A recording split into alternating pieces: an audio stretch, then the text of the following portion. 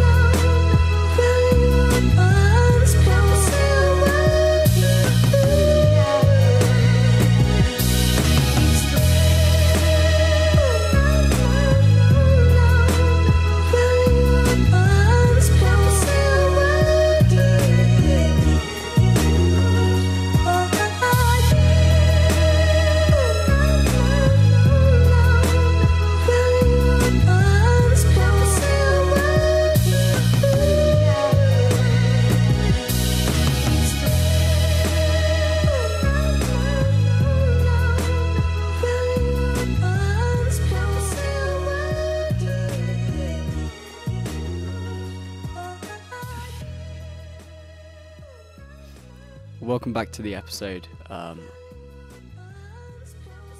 this is Leckhampton Hill, and this is where we filmed Rover of Meadows Advent, which is the experimental film that we did last year. Um, but also today is the 1st of March, which is the three year anniversary of what I'm thinking about. Today is the 1st of March, and I don't really know what the point of this video is. Uh, today is the 1st of March, Today is the 1st of March. And that's insane to me. I can't believe that we've got that far. I've been doing this show for three years, and I'm now on the 30th episode. I wanted to make this episode a really big deal. I wanted to make it special. I wanted to go creative with it, and I feel like I have. I feel like we've tried a lot of new things with it, and that's been really fun. Now, nearing the end of my second year in uni, which is strange, I'm more going to miss the people um, when it finally does end next year. Uh, the people make my life. They're so much fun and they're so good fun. Um, we all shit on each other, but we all love each other, and that is how it should be with friends. There's a lot of tension today. Why is there's tension everywhere? Wiley, get on the other side, man. You're not set. Yeah, yeah, yeah. You move. I'm in. The oh wait, where is? Yeah, yeah. yeah, yeah.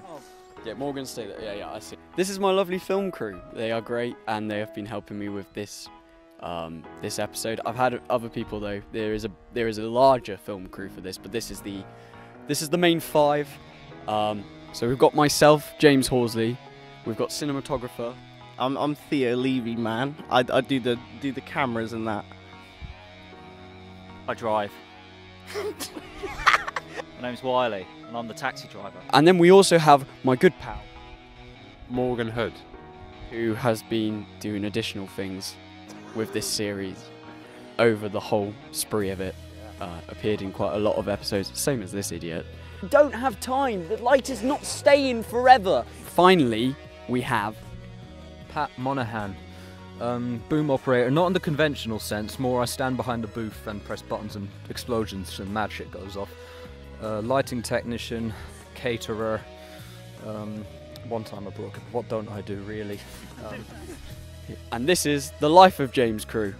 Yeah. I can't think of better people to be with, and I've got all the people behind the camera right now smiling at me, you know, because they all know that this is important to me, and they've all came out of their way to film this. You know, on a ske- on a schedule and stuff, in which that's insane. I'm I'm not used to that, and I'm not used to the kindness of filming. Um, you know, I've always had friends. I've always had very close friends, and that's it. This series is what that was all about. You know, friends and stuff. But being in film school has helped with having people who also want to help you make your own films, and that's been so much fun. This is the three year anniversary, and I'm I can't thank you enough for whoever who has supported this. All I can say is thank you to all of my friends. You're all wonderful. You're all creative in your own way. My friends from home, my friends from away, and my friends here right now. You know, you're all amazing, and I couldn't think of a better way to celebrate this series.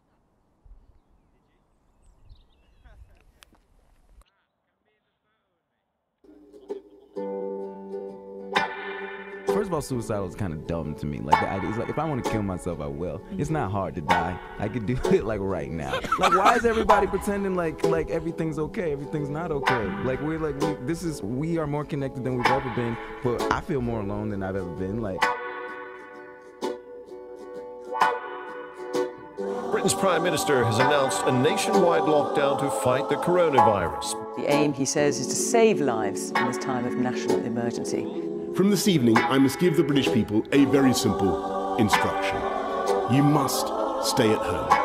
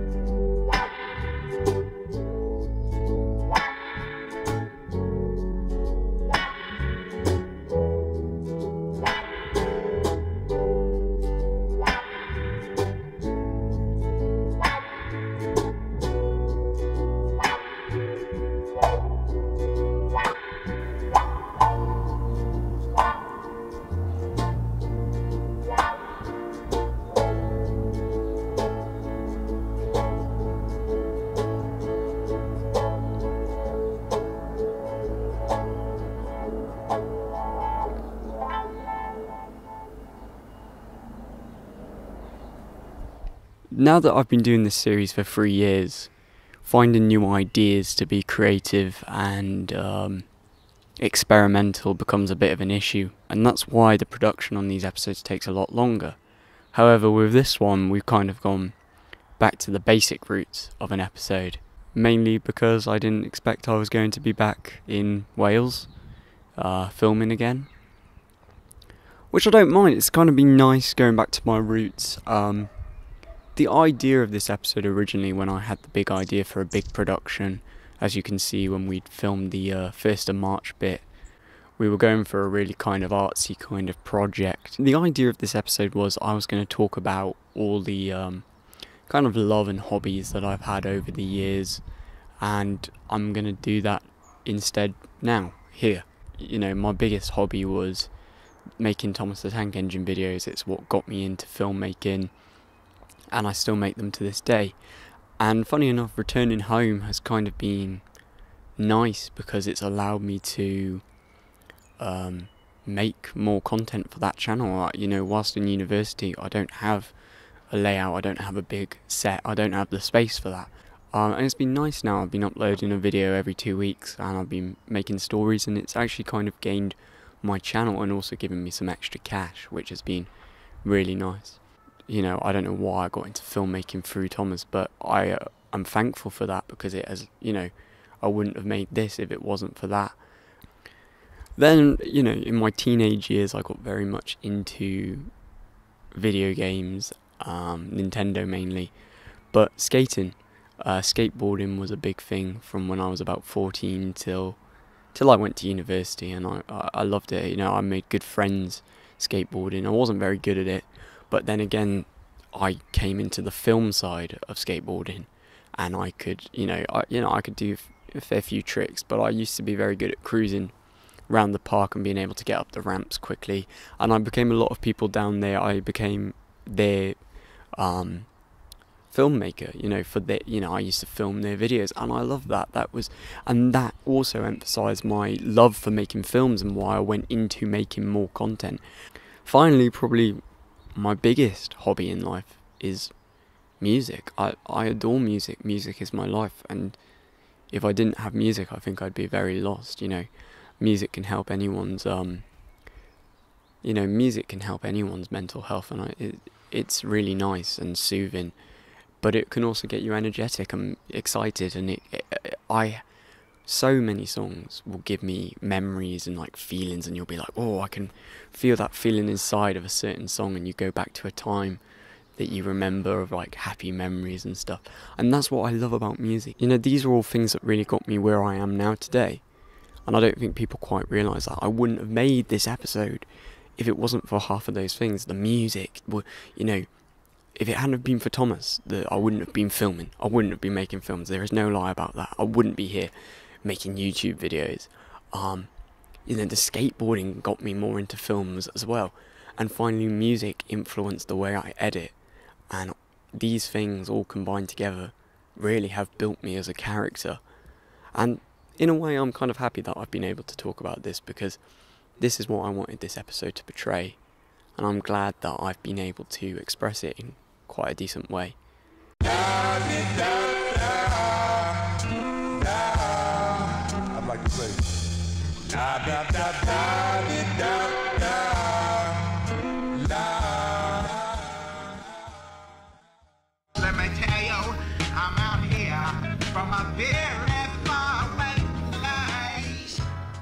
As I mentioned, this episode was meant to have a much more high production, um, but obviously, due to unforeseen circumstances, we've ended up here. I wanted to talk about um, the crew who helped me with this episode. So we filmed the bit on the mountain on the 1st of March, and all the intro bits with the car and the running. Uh, that was all really the initial idea for this episode. So first of all, we had Theo Levy as my cinematographer. I chose Theo because Theo is very talented and has a very good idea of what kind of um, stylistic choices I wanted, um, very similar to mine. Um, the very old grain kind of feel. Uh, Theo's great, very talented, and I was, you know, and he was good with uh, input, and it was very nice for me for once to just kind of do the directing and not the cinematography. And having Theo there really did help. Like Theo is just he, he knows what he's looking for, he knows what he's going to be doing, um, and that was good. That was good. Next we had Wiley, Wiley Queenham, who did uh, basically the driving for us, but he, you know, he, he drove us there like because uh, we had a big crew. Some days we had to have two cars, so like I'd be driving and Wiley, you know, bought his car and took everyone and held the equipment and stuff. But Wiley, you know, does more than that. It, you know, Wiley and I, but when we were planning this episode, Wiley would be on my bed making ideas for his own projects, and I'd be on my desk making ideas for this. And that's the great thing about Wiley and I is we bounce back off each other's ideas. We've got a very brotherly relationship. We argue all the time, but you know, it, it's all worth it because you you have those ideas from him. You know, some work, some don't, and I, you know, I give him ideas like you know improvements, and like some work, some don't work, and that is why you know he, he's a good friend, and we have that relationship. Next, we had um, Guy Barnsley and Josh Holgate, who both are very great uh, filmmakers. Uh, Josh does TV production, and Guy does film with me on my course, uh, like the rest of the people. Uh, Josh is the only TV production person, and it was kind of handy because having his input, you know, because he's used to making. Um, you know, th- this is more like a show, so it was good with his input. But they also did a lot of gaffering and lighting for the scenes, um, and they they were a great help for those shots. And they also just brought a good laugh to the set, which was what we wanted to be in good spirits. Uh, Guy Barnsley was very useful. Um, he's very good with production design, which is what I think he's focusing now on film. And his production, you know, he, he knew kind of the areas that we should be filming and stuff and was giving Theo a lot of tips and tricks. And that was great to see, you know, it was really a collab- collaborative project. We then also had Luke Patterson and Jacob Jarrett. They both helped with um, gaffering as well on certain days when certain people weren't there. Jacob is from America, so he, he was visiting, so he was only there for two of the shoot days. Um, but he was, you know, just as useful help as anyone. Uh, same with Luke. Luke kind of took Jacob's place then when Jacob was gone. Luke has a very good um, mindset on films and how they should look and the kind of uh, scenery that we're going for um, with the kind of production. Finally, we had Morgan Hood and Pat Monahan. Uh, these two are, you know, a good laugh and always bring up some interesting tricks and tips. They did a lot of um, well, a lot sitting in the car on the first day. Like Morgan's very into editing, so the you know he was giving me ideas on how I could edit this in future, and Pat is very into cinematography as well. So him and Theo were working together, giving ideas and stuff, and um, it was really great working with everyone for the short time that it was. You know, we were hoping it would be a lot longer, but in the end, it, you know, we'll work together on something very soon anyway, all of us as a group, and I'm sure once we all go back to normal and once we all go back to uni, we'll be uh we'll produce something uh a what I'm think we'll, we'll produce a proper what I'm thinking about episode. But I'd like to say thank you to everyone who helped on this project, um, on the life of James. It was really good, and um, your ideas and contributions were great help, and I look forward to working with you all again when this is finally over. Oh, I didn't see you there, James. Let me play your song on this piano. Yes. Welcome to what I'm thinking about, episode 30. What are we doing? We're doing light patterns. It, it, He's off the bloody ground. Ah, my back hurts. Get off We need to stop it, James. It's okay, I tricked him.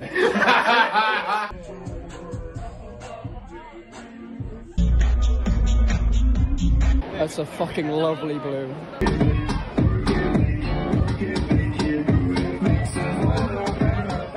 Stronger.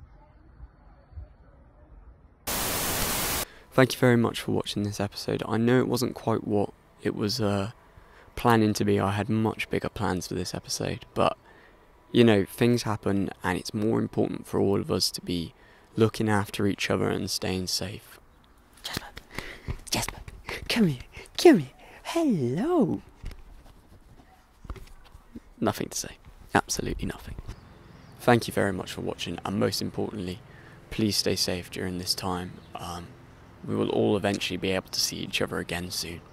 Thank you.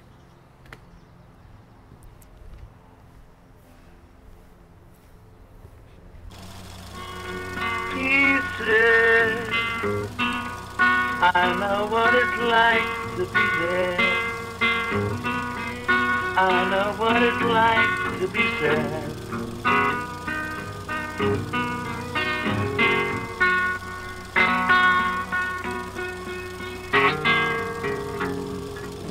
If I'm still alive, I will come back. You know. Thank you very much. Thank you. Pieces. I know what it's like to be dead. I know what it's like to be dead. That's